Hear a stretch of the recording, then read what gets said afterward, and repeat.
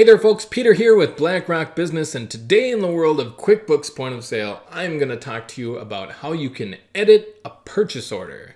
So let's go ahead and do that. But before we do, down in the description below, go ahead and click the link to get over to our QuickBooks Point of Sale Facebook group where you can ask questions, talk about errors, workflows, training, request a video for this channel. We have a great community there of people who would love to talk to you or discuss what's going on in your QuickBooks point of sale. And if you're on YouTube today, don't forget to hit subscribe down below so you can get all the latest, greatest videos coming out on this channel.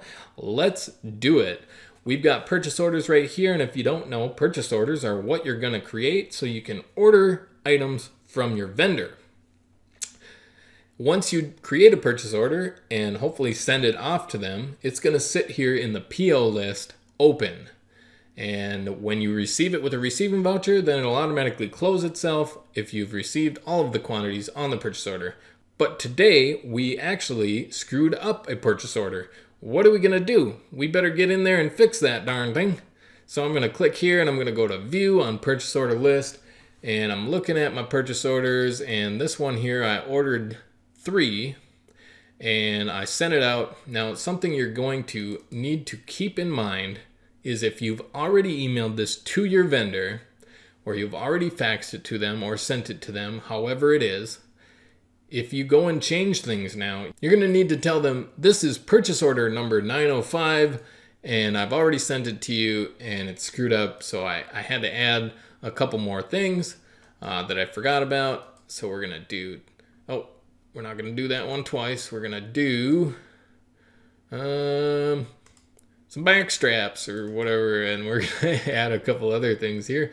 And uh, info security shirt. All right, so we got our extra things that we forgot last time, and we decided we needed to update the purchase order.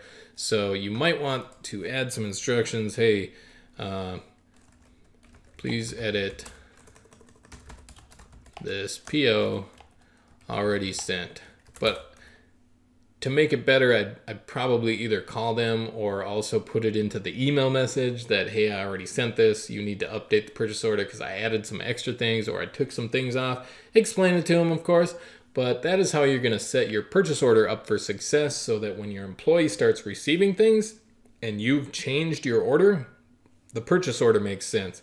And it's actual stuff that's showing up. You don't want to call them up and change your order over the phone and not do anything about the purchase order you've already sent them.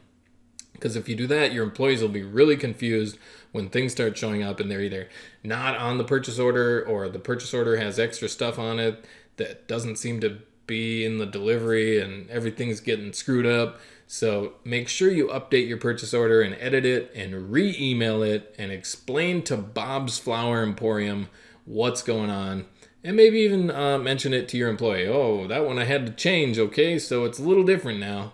And there you have it. You just update it like that, you email it all over again, or you save and print, and you have edited your purchase order, and it's all ready to go, all ready to receive when your product shows up. My name's Peter with BlackRock Business. Thanks for coming on this little journey in editing purchase orders. Please leave any comments or questions below, and I will answer them. Have yourself a great day. Bye bye.